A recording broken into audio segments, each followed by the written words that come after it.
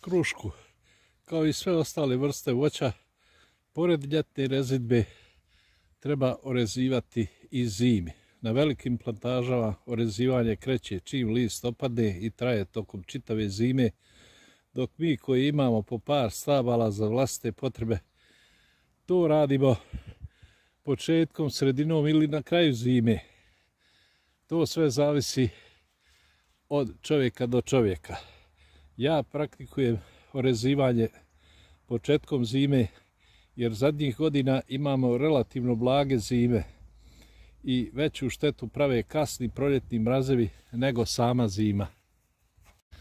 Za orezivanje je bitno odabrati dan bez padavina i sa temperaturom koja je par stepeni u plusu, a danas je oko 8 stepeni iznad nule. Do duše nema sunca, ono je poželjno kod orezivanja, međutim nema padavina. Ja imam desetak stabala krušaka koje sam ja kalebio na podlogu divlje kruške. Sve su one stare od 6 do 10 godina. Imam jedno stablo kalemljeno na dunji. Kruške koje su kalemljene na podlogu divlje kruške su znatno bujnije. I evo ovdje imam tri takve kruške. Ove dvije velike su stare po 10 godina, a ova manja 6 godina. Voće, kada mu opadne list, ulazi u fazu mirovanja. I ako bi sve grane ostavili do proljeća, one jednostavno crpe svu energiju stabla, pa rodne grane ostaju bez dovoljno hrane, odnosno energije u periodu proljetnih mrazeva.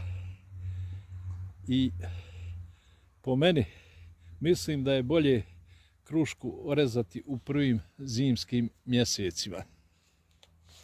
Orezivanje uvijek kreće od vrha stabla kako bi se uredio vrh kruške gdje ostavljamo provodnicu i uklanjamo višak skeletnih grana.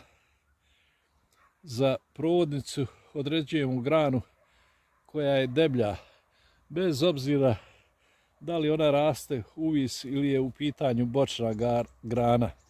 I pored nje ostavljamo tanje jednogodišnje ili dvogodišnje grane koje će naredne godine, odnosno narednih godina donijeti rod.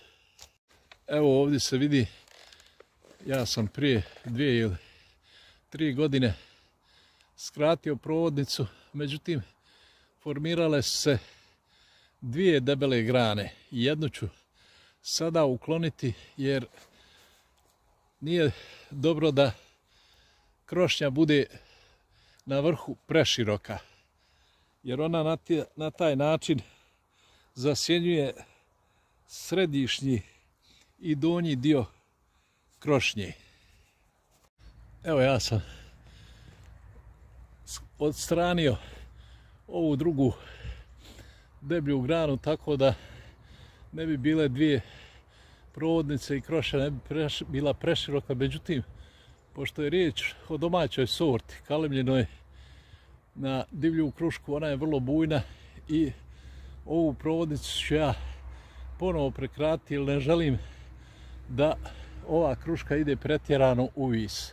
Evo, ovu provodnicu sam skratio i sada krećemo sa uređivanjem vrha. Ovo je jednostavno višak i to ću ukloniti. Znači, ostaju pored provodnice još dvije skeletne grane koje će na proljeće vjerovatno razviti rodne pupoljke. Na ovaj način vrh kruške je praktično izolovan i on ne može zasjediti ovaj sjedišnji, središnji, odnosno donji dio stabla. Jer ukoliko bi ga zasjenio u središnjem i donjem dijelu može doći do sušenja pojedinih grana i manjeg roda, a središnji i donji dio treba da donese između 70 i 80% roda, znači manji dio otpada na vrh i zato gore ostavljamo manje grana. Sada u središnjem dijelu treba ukloniti suvišne skeletne grane i poluskeletne i napraviti krošnju potpuno prozračnom. Evo ovdje, ova grana je krenula potpuno suprotnom pravcu i nju u potpunosti uklanjam. Isti slučaj je i sa ovom granom na drugoj strani. Znači, nju, ove grane koje rastu u unutrašnost krošnje uklanjamo u cijelosti. Ovdje imam interesantan slučaj, međutim, ipak ću i ovu granu ukloniti, jer ovdje imam dobro, dobru skeletnu granu sa već izdeferenciranim rodnim granama.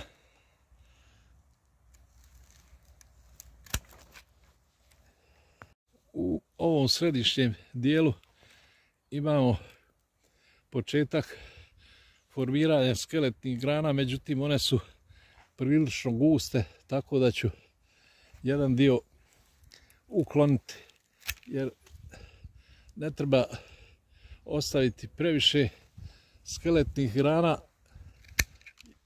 jer krošnja mora biti konstantno prozračna i sunčeva svjetlost mora doprijeti bukvalno u cijelu unutrašnjost krošnje, jer u svakom drugom slučaju imat ćemo slabiji rod.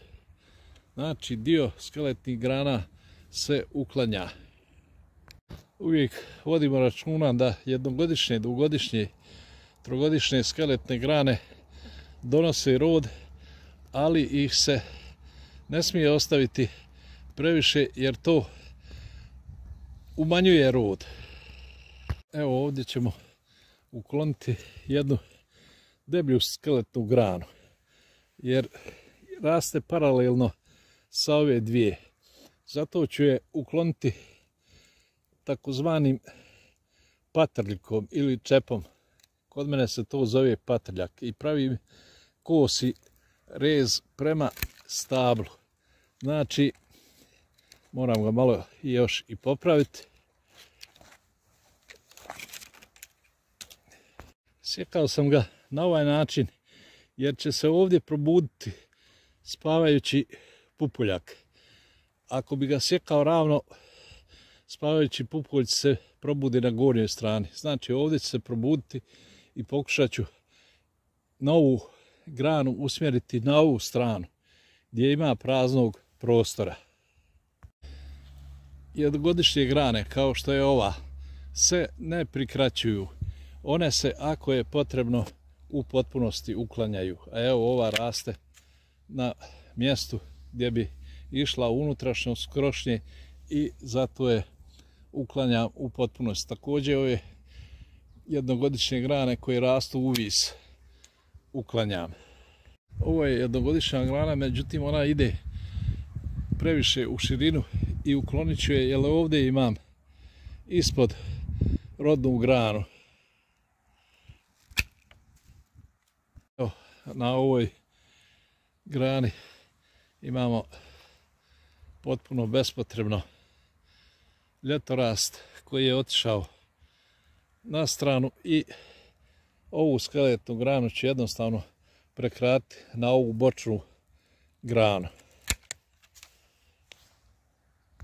Naravno, ove sitne grančice koji rastu pri dnu stabla treba ukloniti jer oni možda i procvjetaju, može se desiti i da bude poneki plod na njima, međutim u principu njima nije mjesto na samom dnu krošnje jer tu nema uslova za neko ozbiljno rađanje.